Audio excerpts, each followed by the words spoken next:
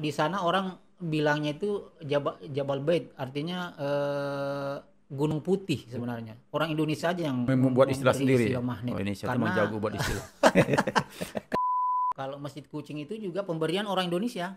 Oh. Karena nggak mungkin orang Arab ngasih mas- nama Masjid Kucing, ya kan? Dengan fasilitas yang bagus begitu, mereka banyak yang nggak tahu Cara cara ca- ca- gunaannya. ca- cara penggunaannya itu kayak apa. Dan itu banyak-banyak cerita-cerita lucunya di situ. Nah sampai sekarang ini sebenarnya sudah sudah boleh belum sih kak membawa itu membawa jemaah ke sana itu kita berangkat untuk melaksanakan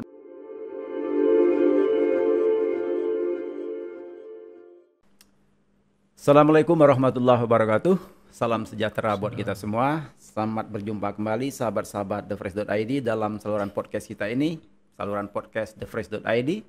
Sebuah saluran yang membincangkan tentang berbagai macam topik, mulai dari topik yang berat, topik yang sedang ringan, tetapi akan kita berbincangkan secara ringan dan santai saja, tanpa mengurangi bobot dari isi pembicaraan ini. Sekaligus kami ingin memastikan bahwa perbincangan kita di dalam saluran ini akan bermanfaat buat kesehatan jiwa dan raga kita sekalian ini.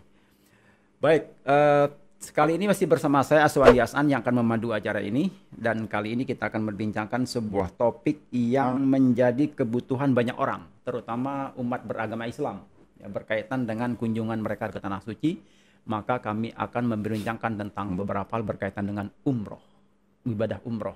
Karena umroh ini sampai saat ini belum ada yang masih simpang siur informasinya ada informasi yang menyatakan sudah berangkat, ada juga sudah yang belum. Kemudian apa saja sebenarnya di, yang akan kita tinjau di sana atau yang kita lihat di dalam destinasi wisata di samping dua buah tujuan utama yang saja ini uh, Baitullah maupun di Masjid Nabawi misalnya.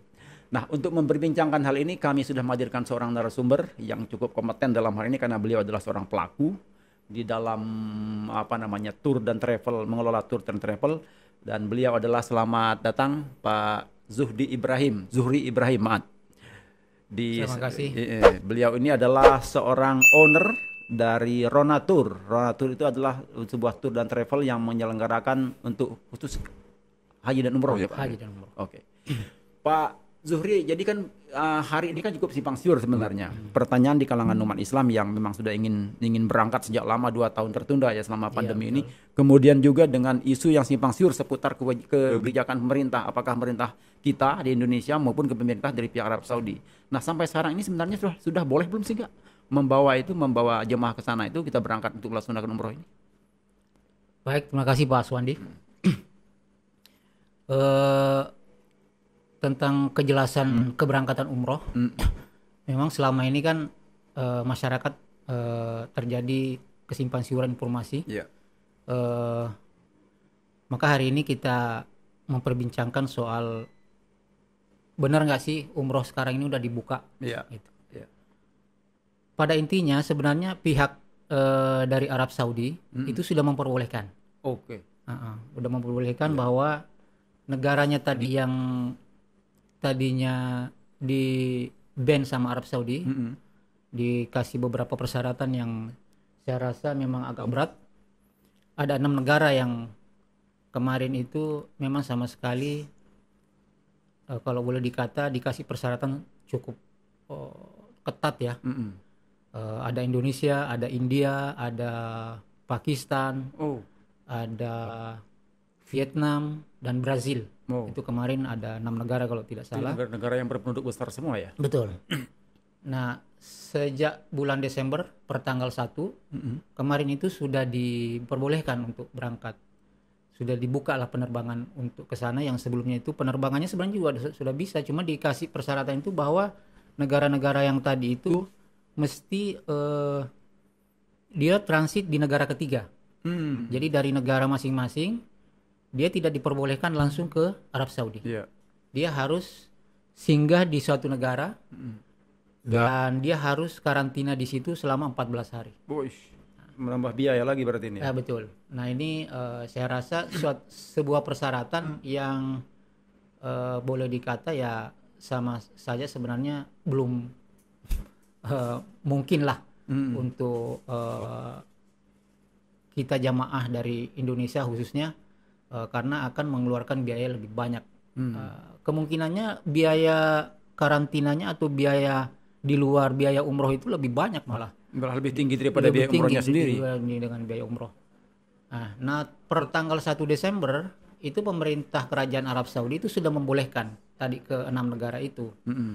eh, untuk eh, diperbolehkan dengan persyaratan yang lebih ringan lah. Oh, Tetap masih dipersyaratkan, cuma eh, persyaratannya sudah eh, ada diturunkan lah Eh, dari tadinya yang harus transit ke di negara ketiga Mm-mm. Nah sekarang ini pihak eh, otoritas penerbangan eh, dari Arab Saudi itu sudah memperbolehkan dengan penerbangan, langsung. Mm, oh, oke. Nah, nah, cuma masalah lagi kita di Indonesia ini karena mayoritas kita tuh divaksin dengan eh, jenis eh, Yang tidak sama dengan keinginan betul. Oke. Nah, jadi vaksin yang eh, oleh pihak kerajaan Arab Saudi itu eh, yang non Sinovac lah, Oh, oke. ya kan, yang sudah boleh dengan secara langsung melaksanakan umroh. Iya. Tapi karena kita mayoritas memakai vaksin Sinovac, Mm-mm.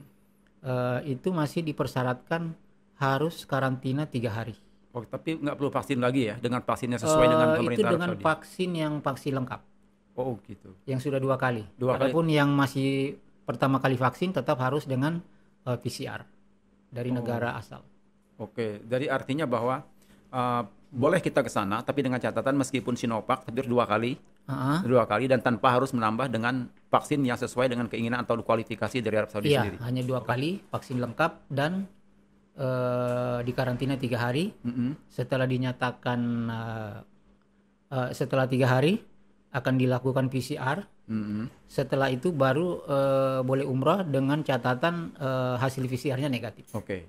Tapi Iya. sejauh ini meskipun itu sudah dibuka seperti syaratnya lebih ringan, belum ada juga yang belum berang- yang berangkat. Ah, ini yang beberapa hari jadi perbincangan hangat. Ya, Oke.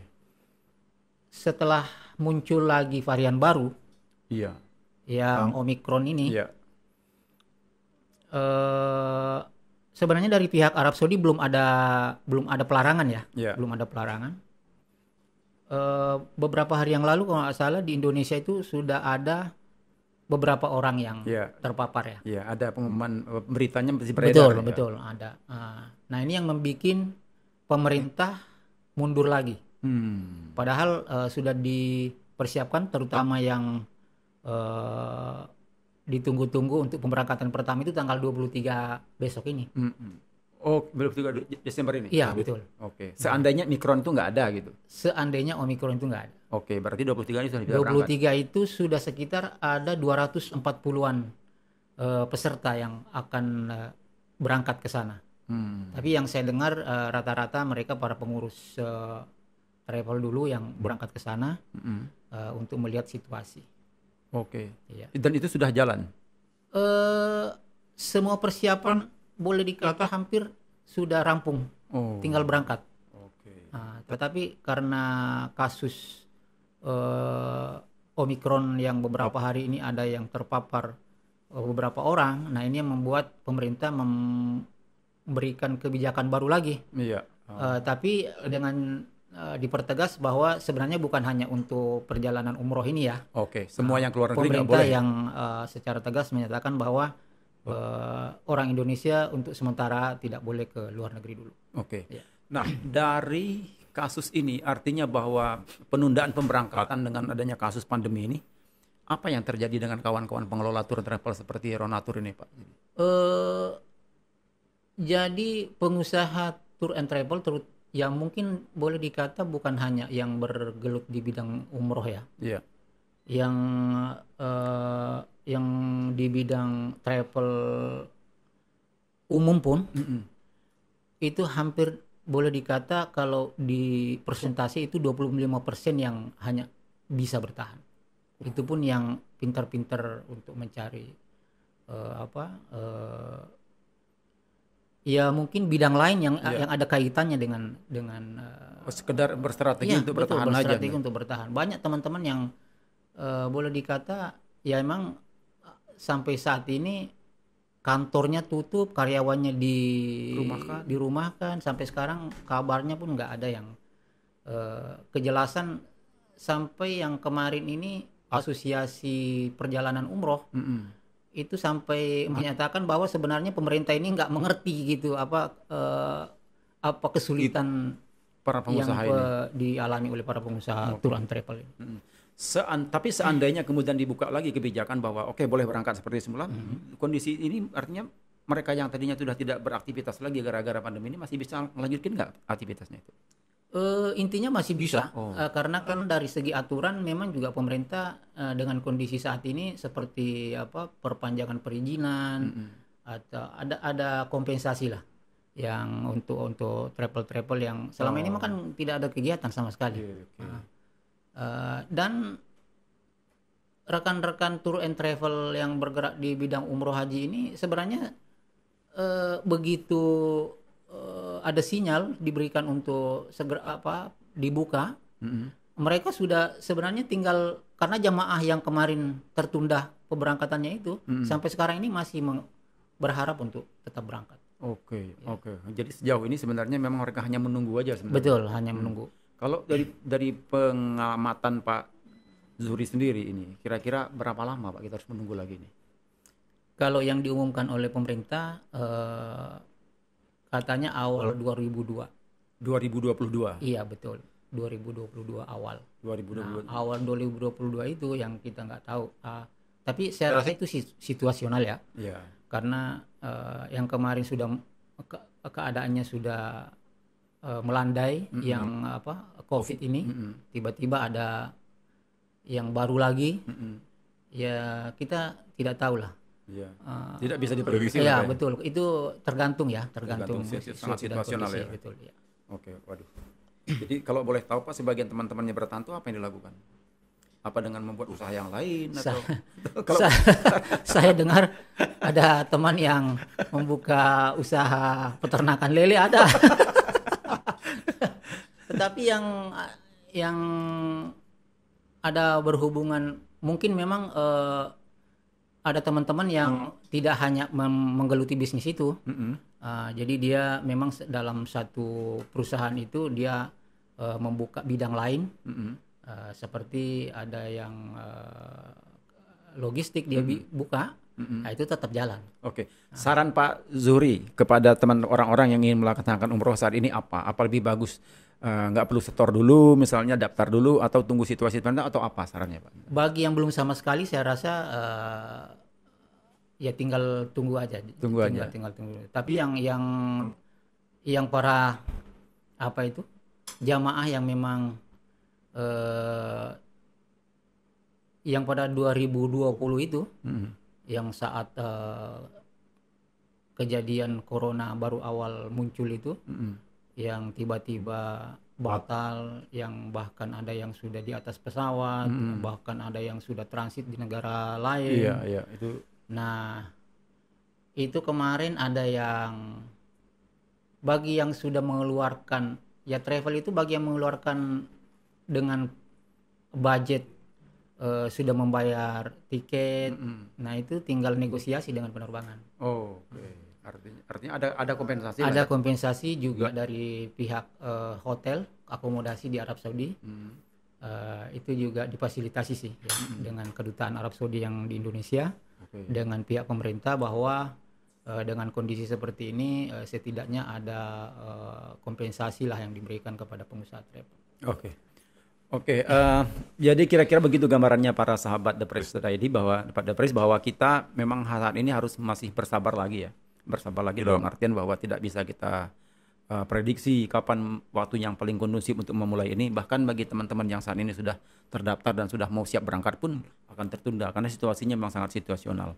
Baik, selanjutnya kita akan berbincang dengan ini Pak. Pak eh, kita kita break sejenak. Eh, nanti kita akan membincangkan soal apa sih sebenarnya tujuan-tujuan atau eh, objek yang akan kita kunjungi kalau kita mengunjungi Arab Saudi itu dalam rangka ibadah umroh ini. Kita akan kembali dalam sesi berikutnya.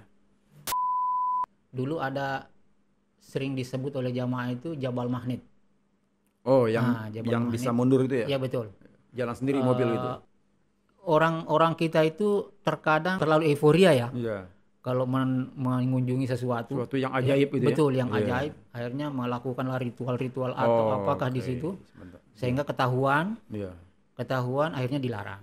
Benar orang ini. Nah, Masjid ini itu sejarahnya sejarahnya eh, di situlah jin kelompok jin itu berbaiat kepada Rasulullah. Wah, keren juga itu. Ya.